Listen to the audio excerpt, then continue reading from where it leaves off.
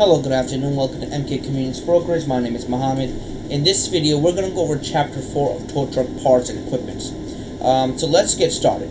Um, just know the diagram about where everything is. Uh, this is the tow truck stabilized. This is the boom. Boom is fully tractored. They don't usually ask you about the diagram and they give you the test and you know just put it, uh, put it, fill in the blanks. It's not going to happen. But this is for your reference so that you know visually what each part is and what's the purpose of it is. Uh, term explained in the chapter, you need to know the terms. You need to know what a boom is. A boom is a structural member of a tow truck that extends extends from a mast. You need to know that part. Uh, it's basically a manual winch must be operated only when there's no load to the boom. A hydraulic is also a hydraulic boom, uh, which can be raised, lowered, extended, retracted. There's manual and there's a regular one. So you need to know both parts of the boom. I would know all the terms in chapter 4. Every part of the term. I would know what a winch is. A winch is a device for winding and unwinding cable that is used to pull, hoist, raise, lower the uh, load or sling free of the ground. The winch is right there. It's the winch cable. Basically, that's what it is. That is the winch cable. Some tow trucks have auxiliary winches called drag winches. I will know this part as well. Uh, the cable on drag winches goes directly to the load and not over the end of the boom. Um, there's all the power to most hydraulic and mechanical winches provided by the power takeoff PTO know that part. Uh, just remember, use the manual winch whenever there is there's no load on it. Uh, obviously, with the exception of hydraulic boom, which is usually the different case where you could use it for either ways. Uh, just just keep that in mind. Um, tow, uh, the uh, tow trucks either have one or two booms. It can work mechanically or hydraulically, like I stated before. Uh, we went over the winch. Let's go over the cables. Just know that cable is a wire a rope used for pulling or supporting a load. Uh, keeping in mind, um, this is the cable work load limit right over here, a diagram of the New York State Department of Motor Vehicle. Uh, just keeping uh, over here, this is the winch. Always keep 3 to 5 wraps of the cables, drums, or whatever the amount the manufacturer recommends right over here. And having, remember, always one, make sure one thing, whenever you have PTO on, just like right over here, it states over here, the cable or drag winches go directly to load and not over the end of the boom. The power to most hydraulic mechanical winches is provided by the power takeoff. I will know this, in which a device that transmits engine power to auxiliary equipment. The control for the PTO are located in the uh, uh, of the of the cab of the truck. This is the caution. I will know this is the test question. Traveling with PTO engaged will cause PTO and your truck transmission damage. I will know that part. Just know that it takes one wrap in a single coil of wire rope or cable wound on a drum. One wrap over here. Com you obviously need to compare diagrams uh, 6 with diagram 3 to see the difference. Like I said, you need to know every part. There's no one part of it. I'm just gonna go. I'm really the reason I'm going over certain parts is gonna take a lot of time. I just gonna go over like bullet points of what can be asked. But I highly recommend remembering every part in this chapter because this chapter is a highly really uh, testable question during the tow truck driving license test. I don't know what cable ter termination is. Cable is no stronger than an end attachment or termination. The termination recommends for towing in a salvage in end in which the cable ends are braided and the sleeve is placed over the end.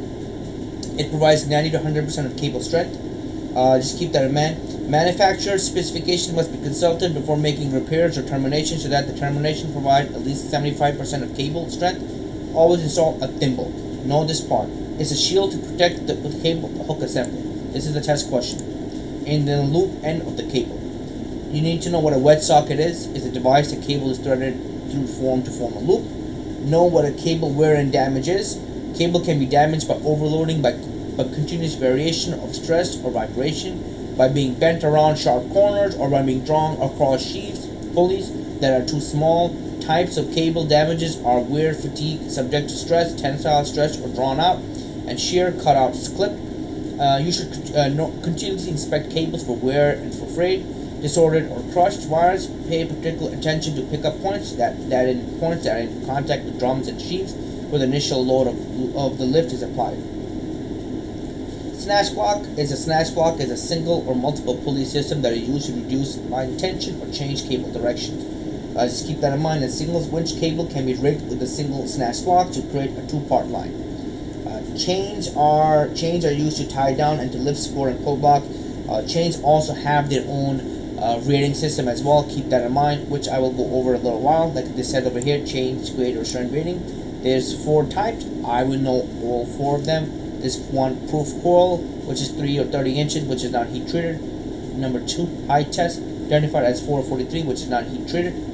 Number three, transport, identified as 7 to 70, which is high quality tree treated and is usually used for towing industry a lot. And number four is alloy, identified as 8 or 80, which is heat treated chain and that is stronger than transport, but it's very expensive. And this is the only chain recommended by OSHA, the Occupation Safety and Health Administration. I would know this for overall lifting. Alright. Uh, this is the Department of Transportation Federal Motor uh, Carrier Safety uh, Administration. Uh, if you're going to be driving tow trucks, you need to know all this. Obviously, that's in the future, but for test purposes, they're not ask, so don't worry about it. Towing devices. Towing devices are used to attach motor vehicles to tow trucks.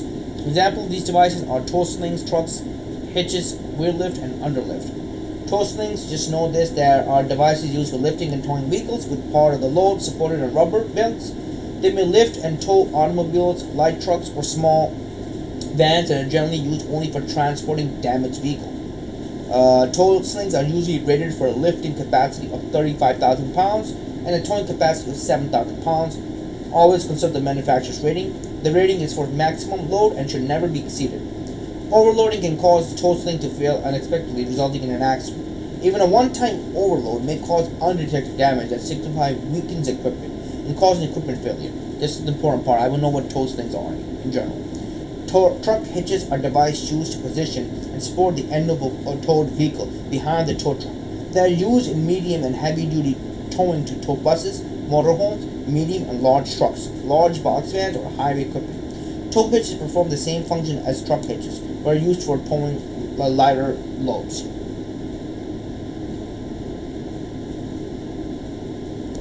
Wheel lift. I will know wheel lift are devices used for towing vehicles by lifting one end of the towed vehicle by the wheels. Just know that part as of now. Uh, I will read everything on my own, but I'm going to go over the basic parts. Uh, it seems like a lot to read, and it seems like I will be repeating a lot of things, but just know the basic ones.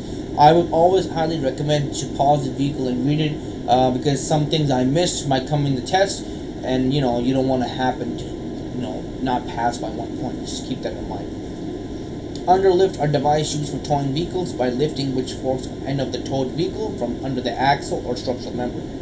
Um, just remember that most wheel lift and underlift are hydraulically powered. Uh, hydraulic power can be used to raise, lower, extend, or retract the boom or inner boom, just like we said before. Each movement is usually controlled inadequately. Some have a tilt con uh, control, but others do not. Wheel straps and auxiliary securing device help prevent the se uh, separation of the disabled vehicle from the wheel lift or underlift. Uh, in addition to the securing device, at least two safety chains must be attached from the disabled vehicle to the tow truck. This is required by law. Know this, what this is. Two safety chains. Uh, I would know what a dolly is. Dollies are four-wheeled carriers used in towing to support the trailing end of a towed vehicle. Uh, tow truck lights. I would know this. This actually was in the test. Uh, hazard lights. These are a tow truck is defined as hazard vehicle under the vehicle and traffic law. As such, it must be equipped with hazard lights, as you see in, in the front. So, I, I mean, on the top of the vehicle, that's where hazard lights are. These lights are to be displayed only when the tow truck or car carrier is engaged in a hazardous operation, meaning that these people cannot just have a tow truck lights on just for regularly. They have to have it uh, when there's hazardous uh, uh lights are going on. Uh, basically, that's the hazard lights are over here. Let's go to the next page, page 15. With two exceptions, hazard lights should never be displayed while a tow truck is underway. These exceptions are, know this for the test. One, a vehicle can be towed at speeds that impede the normal flow of traffic, and when the towed or carried vehicle protrudes into other lanes of traffic. You should never use that because you could blind somebody. Auxiliary tow lights. Tow truck must also be equipped with auxiliary tow lights, sometimes uh, referred uh, to as drag lights. Just know that as well. Uh, failure to these lights uh, to a towed vehicle is a violation of New York State and federal law. Uh, working working lights, lastly, tow trucks should be also equipped with work lights that may be used to illuminate the scene of an accident or dismemberment. Obviously, so just make sure you have that. Uh, read this on your own, and and I'll try to help you know like it will help you get understand a little bit better. Uh, use the proper equipment. Don't take shortcut. Take your time and be safe. Whew, that was the end of chapter four. There's a lot to learn. Honestly, in, in order to in order to for you to properly know this, uh, you know, you need to read this on your own. Honesty, um, it's a lot to uh, digest. I know it's very difficult. Uh, the only way of doing this is by reading it again and again and again. When I took my tow truck driving license test, I thank God I passed it on the first try, but I barely passed. I passed literally like I got a 17. I think you need a 17 out of 20. Uh, so it's, it's not easy. You need a lot, a lot of questions right. So with that said, guys, uh, just study for this. Just don't go in thinking your past. You need really need to study. You really need to understand what each part is. Thank you again, guys, for watching this video, and I hope you guys enjoyed it. If you guys have any other questions, comment, concern, please comment, like, subscribe. I'll try my best on my part to help you out as much as I can. Thank you again, guys, for watching this video, and I hope you guys enjoyed it.